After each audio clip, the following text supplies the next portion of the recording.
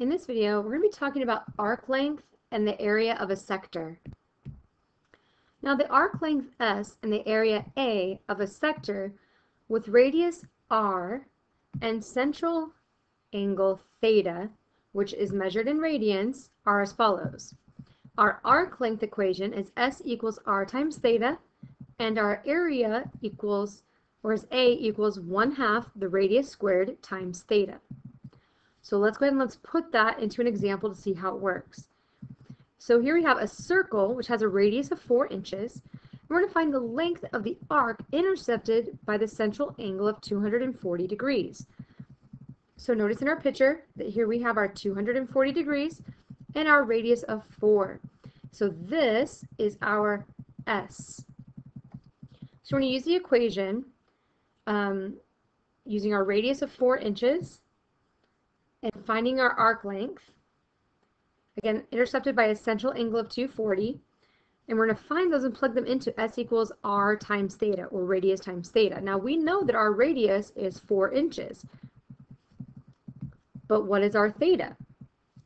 Our theta is going to be the 240 degrees divided by 180 degrees. Because remember, we're converting it into radians. So we'll divide that and then put the pi next to it. So we have 4 pi over 3. So as we write our equation, we have s equals 4, which is our radius, times theta. Now remember that our theta is what goes right here, which is our 4 pi over 3. So we'll put in our 4 pi over 3, and then we'll multiply that. So if we take 4 times 4 is 16, so we have 16 pi over 3. So here we'll have an S value or an arc length of S equals 16 over 3 pi. Plugging that into the calculator is going to tell us that S is going to be approximately 16.75 inches. Let's talk a little bit about linear and angular speed. Consider a particle moving at a constant speed along a circular arc of radius r. So like a fan, right?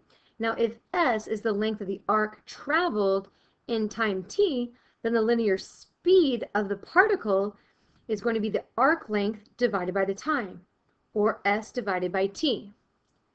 Now, and we know what s is, because s is r times theta. Moreover, if theta is the angle in radian measure corresponding to the arc length s, then the angular speed of the particle is going to be the central angle divided by time. Linear speed measures how fast the particle moves, and angular speed measures how fast the angle changes. So again, let's make sure that we understand this. The linear speed measures how fast the particle moves, and angular speed measures how fast the angle changes. Okay, so again, linear speed is how fast the particle moves, and angular speed measures how fast the angle changes. Let's take a look at an example to help us understand this just a little bit better.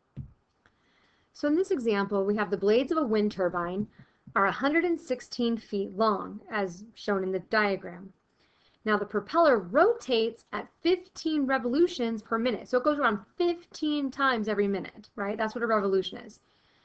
So we're going to find the angular speed of the propeller in radians per second. Sorry, in radians per minute. So we have angular speed. Now remember that angular speed is A equals theta divided by T.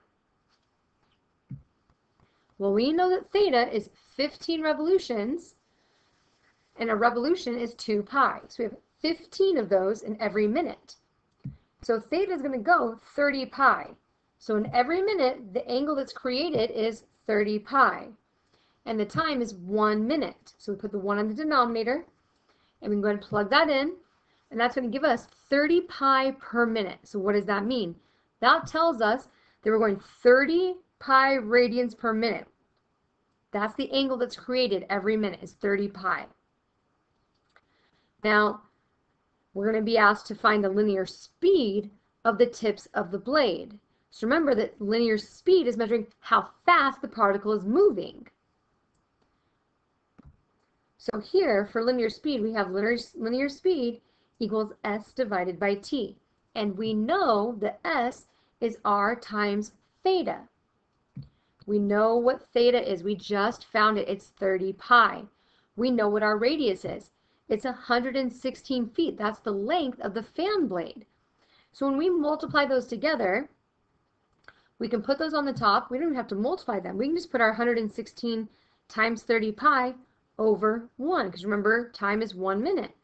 When we plug that into the calculator, that's going to give us approximately 10,933 feet per minute. So it's moving 10,933 feet per minute. That's how fast that particle is moving. So that's an idea of how exactly you would find angular speed and linear speed.